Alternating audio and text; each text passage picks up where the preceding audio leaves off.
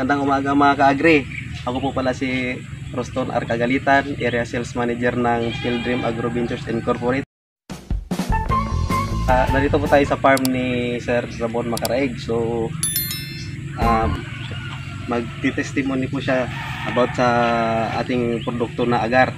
Sir, pakilala ka na po. Ah, magandang umaga po sa inyong lahat. Ako si Ramon Macaraig, nakatira dito sa Barangay Kilada, Matalam, Cotabato. Ah, unang-una ako po ay nagpapasalamat sa kay Sir Roston at saka sa Sir Christian nung in-introduce nila sa akin yung agar na foliar fertilizer. Ah, ito po yung area ko, isa akong grower ng pomelo. Ito yung isang area ko, mayroon itong 107 na puno. Bearing flowering stage na ngayon.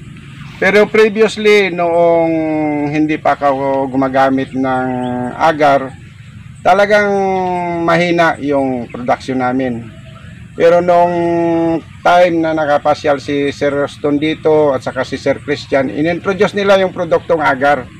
Laking pasalamat ko dahil last cropping itong 107 na puno ang productive nito siguro yung productive na ah, hills is mga 97 pero nakunan ko ng 23 tons dahil sa tulong ng agar na foliar fertilizer malaking pasalamat ko.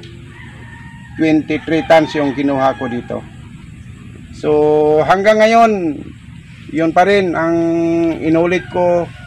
Kaya kung makikita ninyo itong puno ko, naka marami, maraming nag flowering siya ngayon.